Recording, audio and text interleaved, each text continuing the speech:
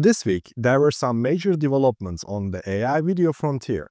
Google's Veo 2 image-to-video mode is now released on Freepik. Veo 2 was showing next-gen performance and working almost like a cinematic physics engine. We will see if it can repeat the same performance with image-to-video. Additionally, the state-of-the-art open-source AI video model Alibaba Wan 2.1 has a new version, Wan Pro, Wan Pro generates high-quality 1080p videos at 30 frames per second with up to 6 seconds duration. So, in this epic prompt battle, I will test Google Veo 2 against Kling 1.6, Wan Pro, Hailuo Minimax and Luma Ray 2. Let's get started.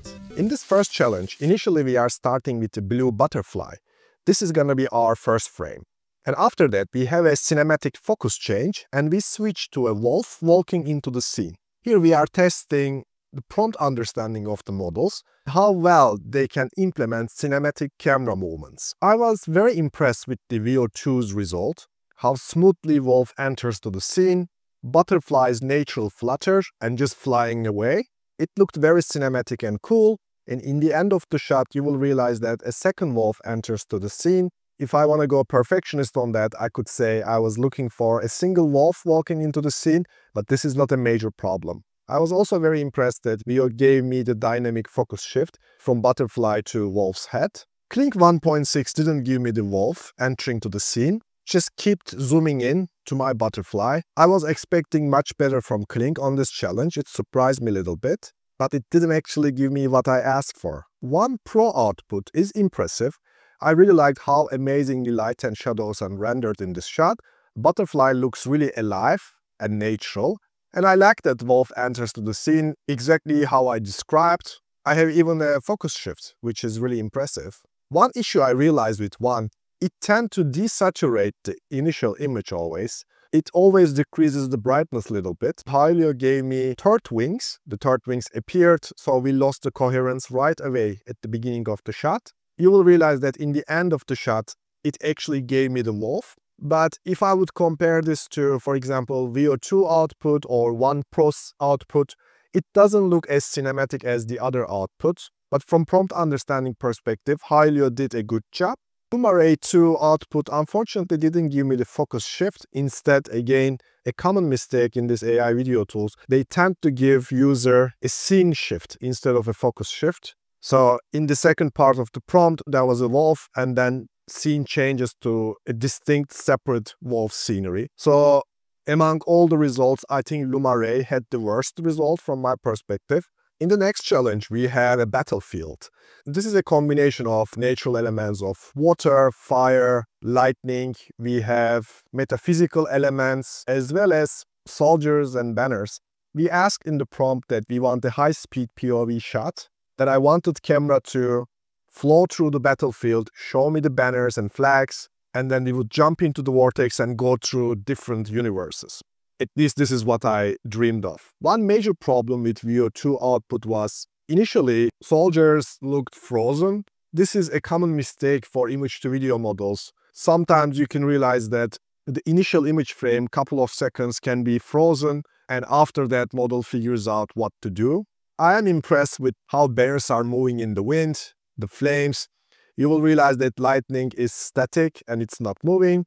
And after that, everything starts moving. And then we got also a vortex coming in. It didn't do a horrible job except the initial frame freeze. The Kling output gave me the fly-through of the battlefield. It gave me the vortex and I like how smooth the motion was. You can see moving flags and flames. So overall, I'm happy with the Kling result. Wan Pro also gave me exactly what I asked for, the POV camera flying through, and I liked how Vortex looks really dynamic and the whole shot looked really dynamic. Same issue again, that everything gets super dark in Wan output. Brightness drop is massive. In this particular shot, it actually worked to our advantage. It made the vortex even more obvious and beautiful to look at. In other times, this can be a little distracting. I think Luma Ray was really committed to give me multiple universes. I got a fly through from medieval age to space age with a particularly interesting helicopter looking toy car. Unfortunately, in comparison to other outputs, It is difficult to say that Luma tried here. I would prefer a fly-through in the battlefield. I think it would look much more cinematic before entering to the vortex.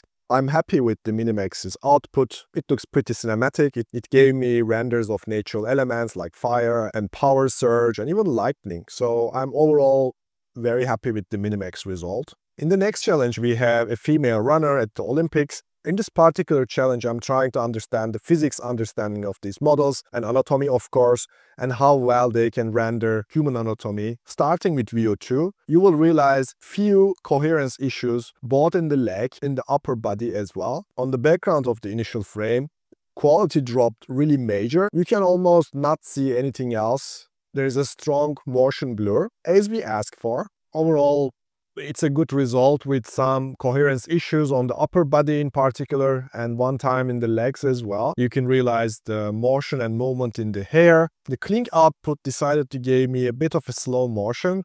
So in comparison to Veo 2, this shot looks a little bit more static, but the muscles and the movement of the runner and the coherence is simply fantastic. It kept the coherence of the anatomy and the movement throughout the shot, which was very impressive. I like that Wan output rendered the background elements a little bit better, but running doesn't really look as natural as Veo 2 and Kling outputs. This little bit disappointed me about Wan. It is not horrible, but there are some coherence issues. The whole movement looks a little bit jumpy to me in comparison to impressive anatomical coherence and natural running movement of the first two models it's from my perspective a little behind. The Hailuo Minimax gave me a much better anatomy and a natural movement of running. Only problem when it comes to Hailuo is the quality here. The details of the body and the muscles are not as visible as Kling output or Veo output, but still impressive result.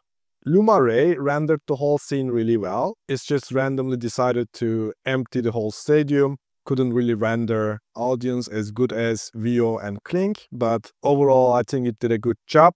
It kept the coherence of the anatomy and I'm not disappointed with the Luma Ray result. In the last challenge we have a warrior attacking with a blade and we have a circling orbiting camera. After the attack I would like to see debris are lifting into the air with the force of the attack. It's a complex prompt and there's a lot going on here. It's not a straightforward one, but a good challenge for our models. Google's Veo 2 output again decided to freeze the first frame. It didn't give me the attack with the blade until the very end of the shot. And I didn't get the camera circling our character, unfortunately. The physics of the debris, the explosion and moving objects look pretty awesome.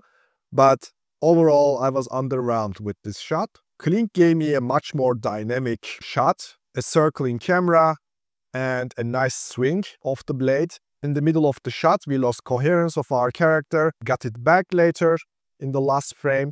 But overall, for me, this shot looked much more dynamic than Google's Veo 2. Yet, of course, it definitely requires a reroll, or maybe the first part of the shot can be used until the decoherence part. Wan Pro output looked more like a dance for me, or almost like a bit of like anime fight. It can be also thought as he's burning and he's in pain, or this intense fire causing him to invent a new dance. We can make many comments. For me, it's not the best result among the other outputs here. I like the Hailuo output because it gave me what I asked for. There's an attack, there's some camera movement, a bit of circling, not much, but it looked cool and cinematic. It's just the explosion on the background looks pretty much frozen. I like that the bees are moving around. Overall, I think it did a fantastic job here. Luma Ray 2 lost the coherence at the beginning of the shot and instead of a single blade, it gave me two swords by magic. If this would be in an online game, I would definitely accept this offer. I mean, replacing one blade with two swords is a good deal. In this particular scenario, Luma Ray output didn't really give us what we asked for. So my final verdict, and these are my personal opinions, just as a reminder, I'm not associated with any of these brands. Google Veo 2 is delivering exceptional visual quality and motion diversity, but there is initial frame freeze problem, and this requires improvement. It definitely has potential to catch up with Kling 1.6 if it can solve this initial frame problem, and here and there I observed some minor coherence issues, With some optimization, I think it would be a fantastic competition for Kling. Wan Pro is a very good model, but coherence seems far behind Kling, Veo 2 and Hailuo Minimax. It also makes the footages a little bit darker because of some reason. This probably requires further optimization, but overall, it's a model with a massive potential. From my perspective, the Luma Ray 2 is far behind all models mentioned above. Hopefully this video was truly helpful for you. Don't forget to give a thumbs up and subscribe for more in-depth tutorials and prompt battles. If you want to learn more about creative intelligence, click here.